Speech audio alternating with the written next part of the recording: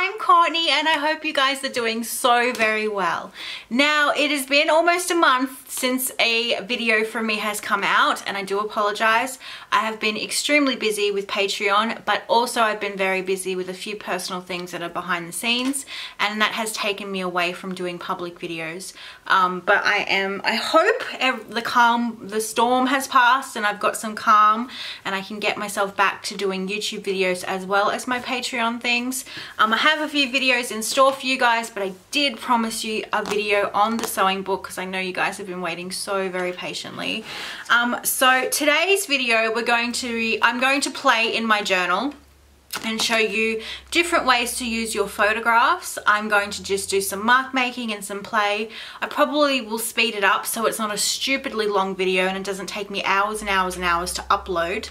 Um, if you hear some noises in the background, my washing machine is doing a load of laundry. I am still a mama and a housewife, um, but that thing is possessed at the moment so it does sound like a herd of elephants are being washed inside it. So I do apologize if there's some crazy noises but and I also have some construction outside as well. So apologies for all the crazy noises, but if I didn't do it now, and I think the recycling guy has just rocked up as well with the bin. So we're having a very, very eventful Monday morning. So I have printed out some of my photographs to play with in my journal and I will show you guys um, a cutaway of how I print in iPhoto. Um, these are some of the photos that I have taken of my little teacup humans. Um, I do pose them sometimes if I have a certain idea in mind. Um, otherwise, my kids have had off camera in their face since they were born. They are very, very easy and very, very um, calm when a photo has been asked of them. They will stop, drop and selfie for me almost instantly. Um, and I did do a photo shoot with them because I had an idea that had been bubbling around in my head and I thought it would be cool to show you guys. Um, if your kids are not really willing and to do this sort of thing, um, maybe you can make it into a game. That's kind of how I do things. I told them what I want them wanted them to do and they did it for me. My little humans are very good at that sort of thing. So I have some ideas um, like this little picture of Lily, I want to create a creature in her hand, that sort of thing. Altering photos is one of my favorite things to do and I do love to do it manually. Um, I'm going to use some markers. I'm going to show you different ways that I enjoy altering photographs. So hopefully this video isn't like a 100,000 hours because I get carried away. Or I might cut it down into portions, so each section I might do part one, part two, part three, and upload them over the course of the week, just to save my 20 minute videos here in Australia takes me 12 hours to upload. So that's what I'm working with and that's why I try to keep them as short as I possibly can. So I do try and jam as much information as I possibly can into a video so you guys don't feel like you've been jibbed a video and I feel good in myself knowing that I've given you as much as I can in the time constraints that I've got. Otherwise my poor computer would be uploading for days on end. Um, so pictures here of Elijah. So he's got his hand out as well. So a little creature.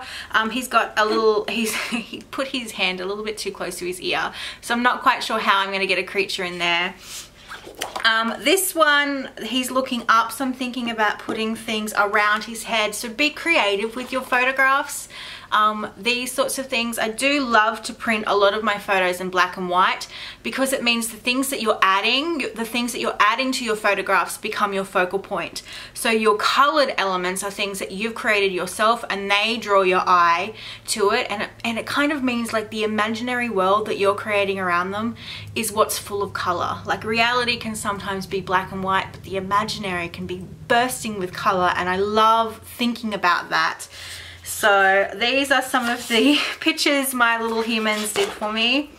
And I thought when I was doing the pictures of Boo in the roller skates and things down here, I thought about putting this at one, one at the top of the page and this at the bottom and then creating her body in, like drawing her body oh my god it sounds like chaos outside my front door. So drawing her body bits in between so I may get time to do that on camera or that will be another set another part. So that sort of thing you can create worlds around them. So just think about things differently. Think what can I add to this? What will look awesome with this? You know what can I create around these photographs? I mean yes, these are posed photos, but later on I will probably do photos that are not so posed so you can see how I alter um, normal photos, not Courtney driven photos. I don't know what happened here. These photos have been printed for ages. So that is the kind of intro to it so you will see me work in here and I will do a voiceover so I will tell you what I'm doing um, it's the easiest way for me to get as much as I can when I fast forward it and make it speed um, I give you guys a voiceover so you know exactly what I'm doing without it being a hugely long video so that is what we're going to do today. I hope you've got your books out. I hope you've got your photos. Even if you don't, you can watch and still play in your journal so that I can give you guys ideas. And we will see how these pages evolve. I will be working on the same pages that I've already pre-prepped so you can see what sort of things I add to these pages so that they can become one step closer, one step closer to being complete. So that's basically what I do. I work on multiple pages um, or sometimes I will favor a page and get it to completion but I'm not sure how that will go. The creative process is one that is very hard to track um, but hopefully you guys will enjoy this video. I have a whole heap of videos coming up because of my personal situation in the background it took me away from making public videos and I had to get my Patreon content out and they get two videos a week from me every week.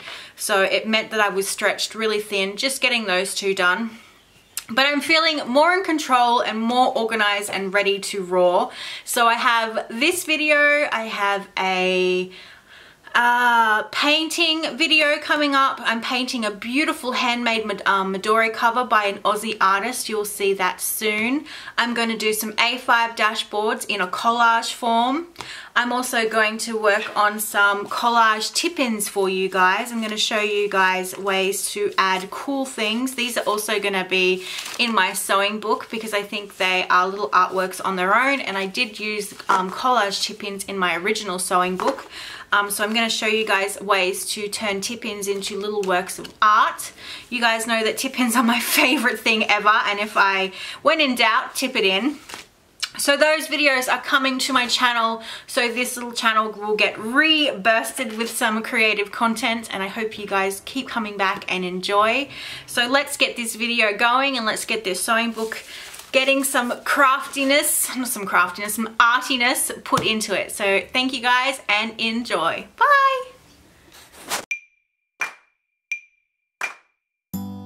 Okay, let's get going. First of all, I'm going to cut out that picture of Boo. I'm going to cut out the excess space and just leave her head. And then I'm going to pop that down the bottom of my page. And then we are going to grab a Sharpie pen or a black pen and draw on the photograph. But first I am also going to pop the Copic marker in fluoro pink and give her my signature cheeks like I like to do. It is just something I really love looking at. It makes it fun and playful so I always pop on a cheek pop. So now we're going to give her some antlers. At first I was going to try and draw them with my pencil but I gave up so I just went in with Sharpie. Go big or go home. So I am just adding onto the photo and making it look like the antlers are part of her. So one way to incorporate photographs into your journal is to add things to them and add them in a way that it looks like they were always there before. I do extend her hair line into the antlers so it looks like they're not just um, plopped on there. They're part of the photograph and that is one of the things that I love doing and incorporating your photographs on top of your collage elements. I'm drawing right over the top of some of those collage elements and it's all those lines instantly integrated into one piece and I also add some background color a little later on so everything comes together as one.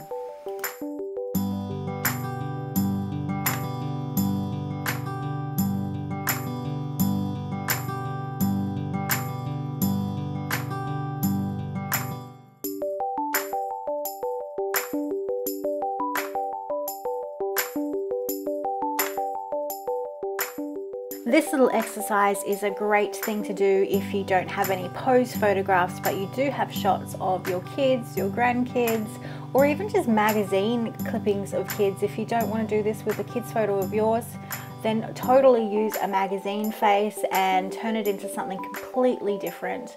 Um, I love using my kids' faces because it's a way to incorporate our lives into my art.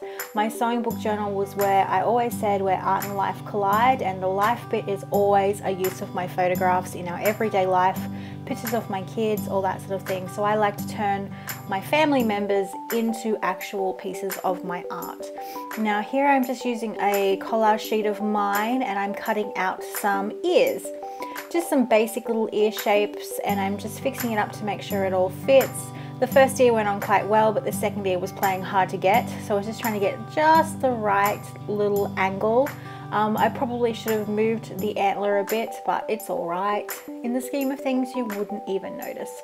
So a cute way to add and create characters is give them ears and antlers and noses, all that sort of thing. And I'm just sort of drawing over the top of the ears so that it looks like the hairline is actually over the ears and I'm just outlining that so it becomes one. That's a way to sort of integrate things is outlining things as well. I do really love to outline my collage elements. I do it a lot in my normal journal and so outlining is good. So now we're going to add some paint to those antlers and put on some little whimsy flowers. So it looks like she's got cherry blossom antlers. Um, my red flowers popped up heaps in my last sewing book and they will appear heaps in this sewing book because they're so much fun and so easy to do. A little bit of red and white paint and some um, marker and you're good. So once that dries, I do just outline the flowers with a little bit of pen. This is a Letraset aqua marker and I'm pretty sure they've been bought out by Pro Marker now so it might have been rebranded but this is just a yellow one and this is me integrating some backgrounds into the entire page so that it looks like it is one piece of art. So we've gone from having bits of collage on the page and now we're slowly slowly making a scene and making the page more cohesive and I will go back over night time and do doodling and things but the main element here is Boo and I'm just giving little whites of the ears with some um, Sharpie marker and I think I go back in with normal white paint because the Sharpie marker wasn't quite cutting it on the day.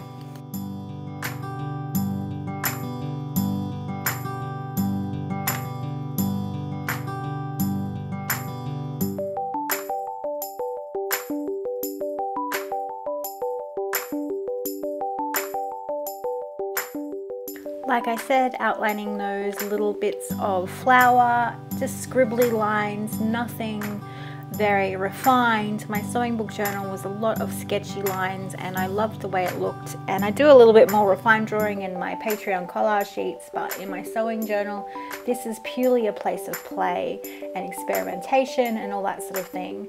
Now, I do love a good chunk of neon pink and you guys know that I love it so. So of course I'm gonna add some big chunks of neon pink to the background. I probably will come back in and add doodling and words and things. I may or may not do it on camera, um, but that's how my pages slowly get built. I have a focal point and then I slowly do mark making, pattern making, uh, text, all that sort of thing. So we shall see where this page goes. I decided I just wanted the legs in the picture, so I covered up the girl and left the legs and I'll probably work with those at a later date. Like I said, I do not normally finish pages. I work on several at a time. So moving on to a little Elijah, we are going to add a creature to his hand. So adding things again, adding collage elements to your photographs can make them, you know, into works of art and make them look like little scenes that you create. Um, actually, Elijah picked the little creature that is on his hand. I gave him a whole heap of choices and he picked the one that you're going to see. And this is a way that I can tie in or you guys can tie in your scrap monsters. Like I said in my previous video, all my lessons or my journal with me's or my projects, all of these can somehow tie back to your sewing book. You can always reuse your work, you can always reuse old images, and the scrap monsters are a great thing to use as part, you know, bits and pieces of your imaginary world that you're creating on this page. And it was a scrap monster that Elijah actually picked. So, projects that you've done in the past can be reworked and revamped and given life again. If you've got a whole heap of spare scrap monsters lying around, you know, put them in the palm of your kids' hands. Put them in your hand if you want to create, you know, a selfie with your hand out. There's, you know, so many ways that you can use your work again and again in new and different ways. So I was kind of happy that he picked a scrap monster because it, you know, gave me the idea that I can tell you guys always reuse your work. You can always reuse everything you do in new and exciting ways. and It'll never look the same as what you did. So I actually have scanned my scrap monsters and had them in collage sheets. So this is not the original. The original is way too big. Um, so I gave him versions, smaller versions of things so it didn't look like he was trying to carry a giant in the palm of his hand. But this is a way to incorporate photographs as well. It is not something that I've done in my previous art journal, but I do really love the whole idea of creating an imaginary world with um, creatures and kooky nook dwellers. I mean, I use nook dwellers so much in my last journal and they will make a comeback. So this is just a way you could use your nook dwellers if you've done any or use little quirky creatures you've created. I've also popped on some red Copic marker onto Elijah's cheek. I almost didn't do it, but I'm glad I did. So this is some neon pink fountain pen ink and I love just painting shapes and playing. Um, using a paintbrush means you're a lot freer with your lines, there's not that much control and I do really like how they look. And I was just doing some little lines out from the creature so it looks like magical stardust. Could maybe not be magical stardust and it may get covered up at a later date because I wasn't quite sure if I liked it after I did it. Um, so that is one way to use your sheets as well. Your photographs, you can create little scenes with them. I do extend his shoulder because his shoulder got cut off so you can recreate body parts as well. And armed with a Sharpie, next we're moving on to turning Boo into a superhero bear. Um, I wasn't quite happy with how it how it turned out in the end, but it was a really fun process to do. So like I said, armed with a Sharpie, I'm giving her a mask and then it goes on from there. You can turn your kids into superhero characters as well, turn yourself, turn anything into a superhero with a mask and a cape. So enjoy this part, it is very self-explanatory, but these are the three ways that I'm going to show you today on how to integrate photographs into your journals. They may, some of them may, like this one, may not look like it's very integrated yet, but give me time and I will show you how we pull that page together. Um, I just had so much fun turning Boo into a superhero, so I just went with it. Um, and this video was already 20 minutes long, so we are going to just turn her into a cat superhero and then I will see you guys next month for another video or maybe this whole video might have reignited my love for my sewing journal and there might be some videos a little bit quicker than that. So it's amazing what you can do with a Sharpie pen. You can basically recreate an entire thing. I had a blast and Lily saw this as I was doing it and she giggled her head off. So it's a great way to turn your kids into completely different things but I really enjoyed it. I did make her a bit chunkier than I wanted, but so be it. So enjoy the rest of this video and I will talk to you guys very, very soon. If I think there's anything else you need to know, um, I will pop back in. But for now, thanks for watching and I'll see you very soon. Bye!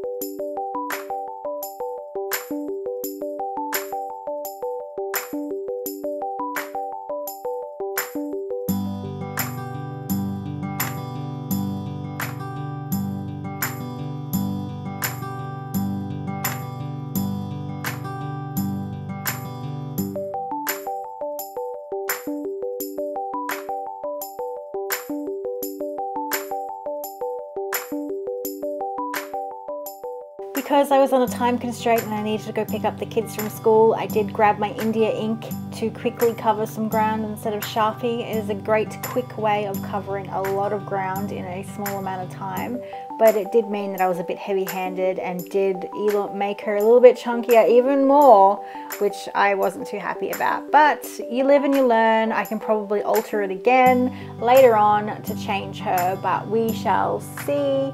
I did add some arms with the white Sharpie pen and I also regret that because my Sharpie pen is playing up. As you can see, it was leaking and I just used some little dashes to create that illusion of textured fur. Nothing too fancy, but I really had a blast and I hope you enjoyed this and I want to see your photographs in your sewing book journals.